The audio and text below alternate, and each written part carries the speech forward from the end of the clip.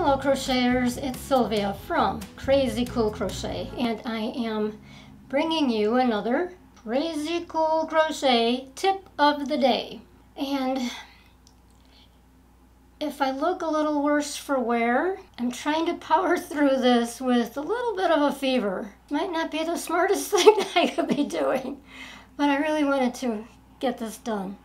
Um, I've got actually a twofer, a twofer tip so one of the tips I want to talk about is when you are working fringe. And I've got a little clip I want to show you where I show how to achieve really nice, clean, straight fringe um, as opposed to the, the crinkly, curly Q fringe, which does work in a lot of projects. The curly fringe looks really cute, but I think a lot of times that happens accidentally. So I'm going to show you some examples of the straight fringe and the curly fringe and see which you like better and then show you how you can do either one. Okay, so let's take a look.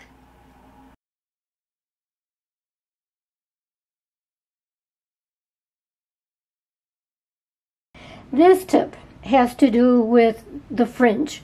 So as we are working the project. Take care that you are pulling the yarn from the middle. Okay, because see how it's all crooked and twisty?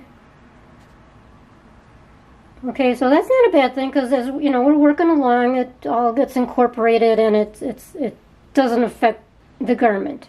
However, when we're working fringe, you do not want those twisty pieces. You want nice straight yarn. And that's the yarn that comes from the outside. See how nice and straight that is compared to the middle? Wow, night and day. So we want the straight yarn saved up for the fringe. What do you think about that? go ahead and leave comments in the comment section below, the white space below the video. Let me know what you think. Um, do you have a preference? Okay, now here's the, the second tip. I don't know if it's a tip so much. Maybe it's another one of my rants. I hope not. Um, but this is specifically, I think, for knitters. Knitters who crochet.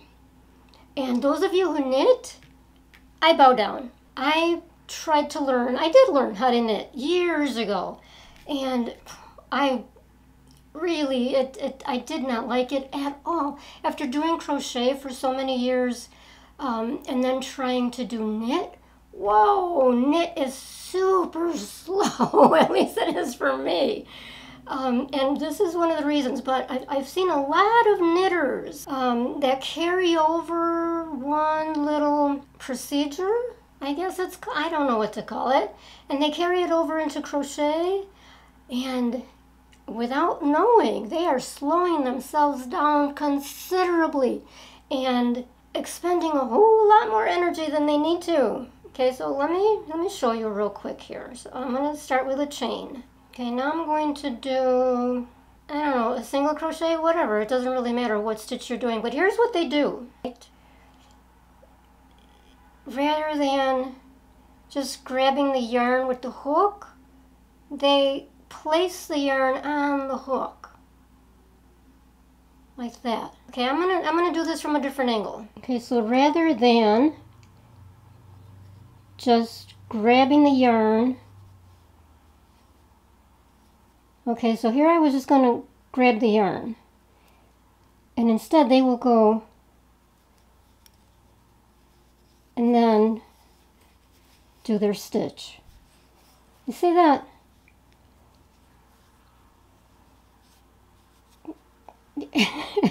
Every time I see that, it it almost physically makes me tired. It's like, okay, stop that. What are you doing? you're you're taking extra steps when you could just grab the yarn. Okay, well that's that's that's my little pet peeve, I guess. So if that's you, if you're a knitter and this is what you do and that's just what you're used to, okay, you know, to each his own, of course. To each his own. I'm just saying, you know, if you want to speed up your, your crocheting, you can stop doing that. okay. Oh, okay, now I'm sweating. Alright, I probably should just stop now. I had doctor's orders to rest. I can't stand to be sickly. I have too much work to do. I've got things to do. Not places to go, but things to do. Okay, so for the curious, I have COVID symptoms, but I don't have, I already got tested negative. So now we have to figure out, okay, if it's not that, what's going on? Oh well, such is life. That's enough. This was supposed to be a quickie.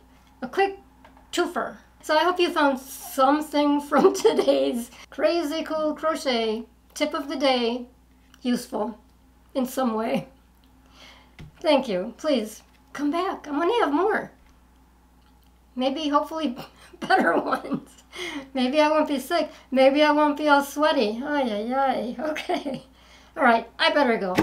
Thank you.